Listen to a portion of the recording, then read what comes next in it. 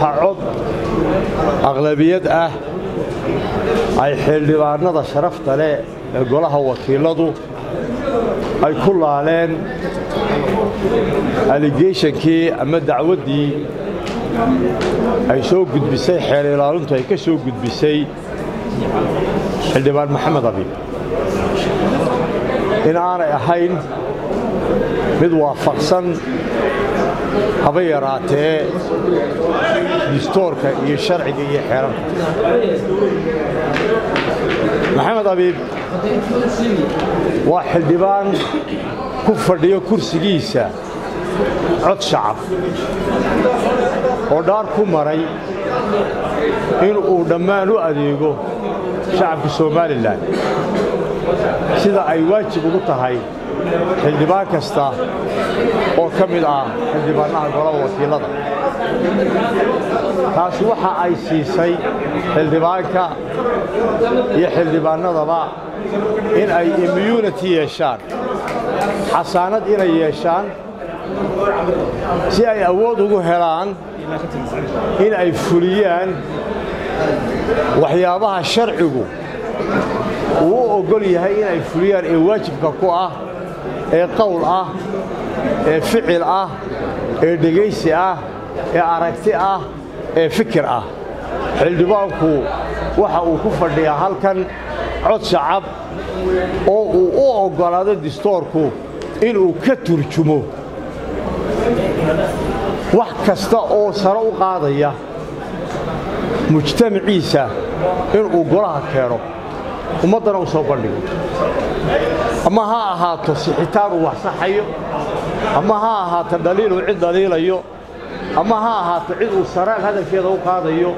Ama ha ahaato cid uu sare hoos u dhigayo. Xildhibaanku fikirkiisa waa u xor. Lagumana adyadayn karo. Dembina ma aha inaad fikirkaaga aad tidhaahdo. Haddii aanu fikirkaasi aanu ahayn mid kitaabka qur'aanka ah ee uu ku dhaartay ka hor imanaya. Sidaa laajligeed waa xaaraan maqdaca in xildhibaan xasaanad leh diyaaradda hoosteeda laga qafaasho oo lagu rido jeen ay ahayd in la geeyo oo qudha dadka dembiilayaasha ah ee xukun ku dhaco. Waxay noogu filan foolxumo caalamka oo dhammi uu ina eegayo kii inoo cadowga ahaa iyo kii inoo maxaanku dhahdaa ehelka ahaaba in ay maanta leeyihiin waa taa somalilan dastoorkeedii dhulka jiijiidaysa innaga oo keliyana akhrisan mayno waxaan dhacay. Waa international baa loo akhriyaya waxaa laga akhriyayaa maxaafilka waaweyn ee caalamka ee maxaanku dhaha qaynuunkaa laga akhriyaya waxa ay caqabad ku noqon doontaa nin kasta oo somalilandar ah oo dabad u baxa ama guda jooga oo carabkiisa ku adkeeya waxa aanu leennahay kala dambayn iyo sharci. Ayay arrintani been ka sheegaysaa oo waxa hortaada taalla oo xildhibaankaagii aad siisay xasaanadda distoorku sawdiga maxaanku dhahdaa ee erboodka hoostiisa abaallada kaga qaaday. Maxaynu ku jawaabaynaa?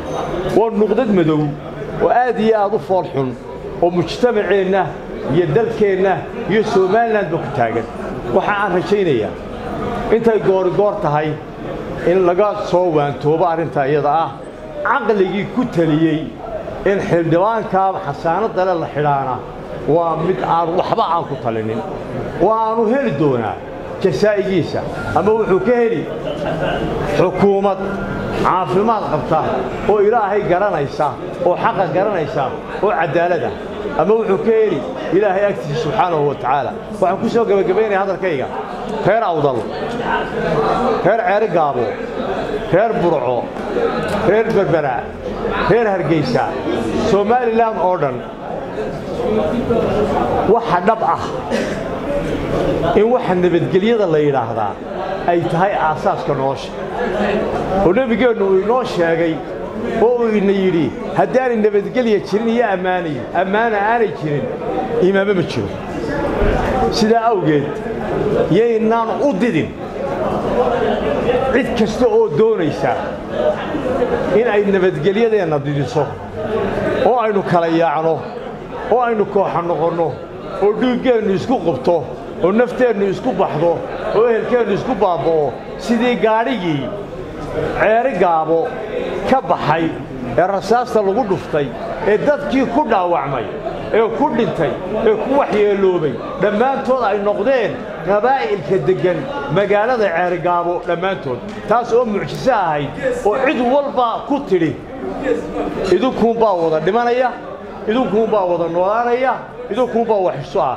Somalilan unbaa wax isu ah. Gobolka awdal waxaan ka taacsiyadaynayaa xadhigga maxamed abib waxaanaan leeyahay ha noqdo xadhigga maxamed abib arrintii inoo fududaynaysay in aanu dib dambaysa maxamed abiib oo kale loo xidhin.